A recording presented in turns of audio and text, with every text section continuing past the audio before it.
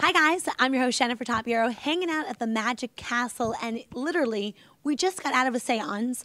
And I'm sitting right now with the star of Houdini and Doyle on Fox coming on uh, May 2nd, Michael Weston, who was in the seance with me. Still shaking, you guys. There was some real stuff going down there. We, uh, can we tell them? We saw your pop. Yeah, I mean, I wouldn't actually see him, but he contacted the medium. It was really, it was really crazy. Tell us. It was moving. Uh, Bennett, right? Mm-hmm. A Mets fan, and uh, and you and your mom were in there, and it was uh, it was actually a really uh, moving experience. And and and you hadn't met her before, Misty, our incredible medium.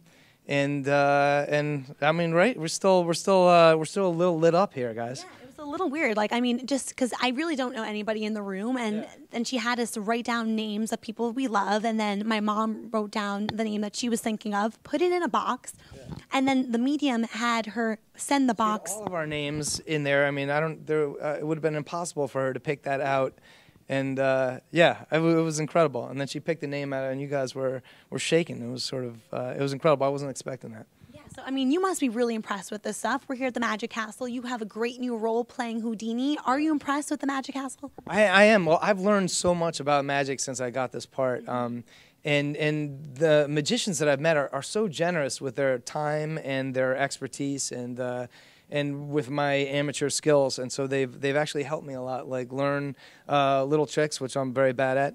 Uh, and you get a, a real respect for these guys because they, I mean, in order to, to master these tricks, you have to spend some serious time. You sleep with your deck of cards. It is your best buddy. Um, so I can throw cards around the room. I'm not there yet, but uh, yeah, I am. I'm super impressed. And, and if you're lucky enough to come to the Magic Castle, uh, take anyone up on that invite because it's a it's a special place, and the and the magicians here are incredible. You can literally feel the energy down here right now. Like behind us, there's so much going on. This is really, it's pretty incredible. Yeah, like uh, all these old magicians throughout time, uh, and I think anyone who's worth their salt as a ma- magician, and no offense to those who haven't come here, but they they try and come here, and, and I've seen some incredible shows since I've been here. So, Okay, let's talk about your new role. What kind of research did you have to do to play Houdini?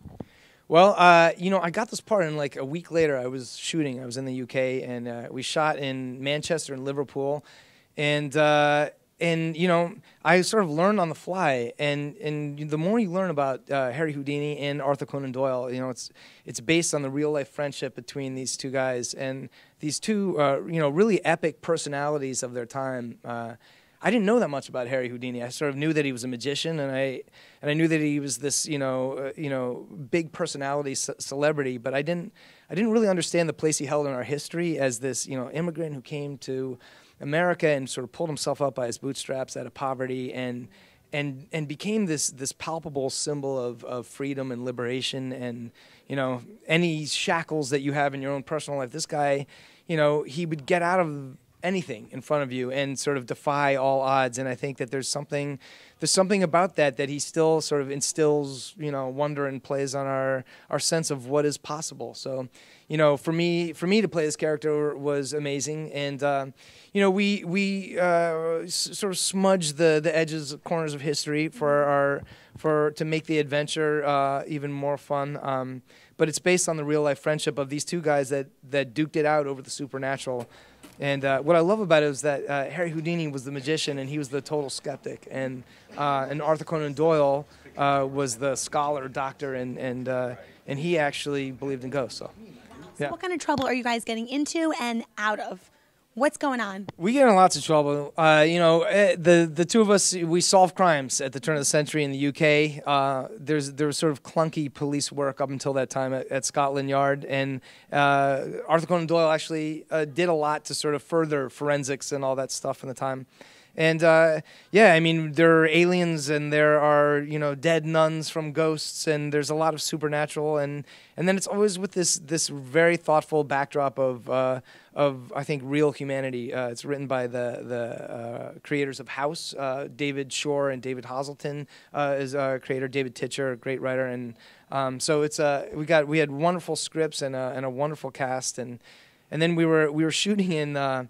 You know, in the UK, and they, they take their period very seriously over there, and uh, and they really know their stuff. So um, so it was fun for us. We were, you know, we had these incredible like costumes, and they, they, these streets they'd gravel over with carriages and the full period uh, uh, thing. So it was, it was really fun for me. So what about a love interest? Does Houdini have a love interest on the show? Well, I, I think he has several, and uh, the the thing he he he really has a thing for you know. There's the first female constable, Adelaide Stratton, played by Rebecca Liddiard, and uh, and she's you know she represents a sort of turn of the century woman who you know the the burgeoning feminist movement, and she's a very strong female character. And I think for Houdini, who's sort of used to you know getting getting his way around around the the world, I think she really presents a challenge, and she's beautiful and smart and strong, and uh, and sort of evolves him as a man at that time. And think it's a really unique relationship. So, you know, of course, as an actor, you really get into the role. When you went home, was there any Houdini with you? well, you know, I live uh, I live right down from his real house, so uh, I pass it all the time, and I, uh, yeah, I think you know there there's there's a little uh, sense of sort of of magic that sticks with you with this guy. I think his spirit is um, and his and his and his energy uh, has have stuck with me, and his sense of mischief. So my, my wife might get tired of it, but yeah, it's still there. I love it. So we haven't checked out the show yet, but we're so excited. What are you hoping everybody at home and the audience and people watching are going to say after watching Houdini and Doyle? I, I, hope that they have fun. I mean, I think it's a I think it's a really fun show. It's a great adventure, and I think that uh, that you get to see it against this backdrop of, of turn of the century England, and, and it's it's both beautiful and fun. And, and these two characters, I think, are, are really uh, epic and unique personalities, and we have a fun take on it.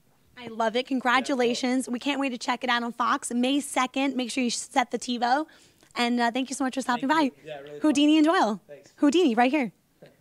Well, it's about to be some magic. We're going to disappear right now. Okay. Okay, let's go.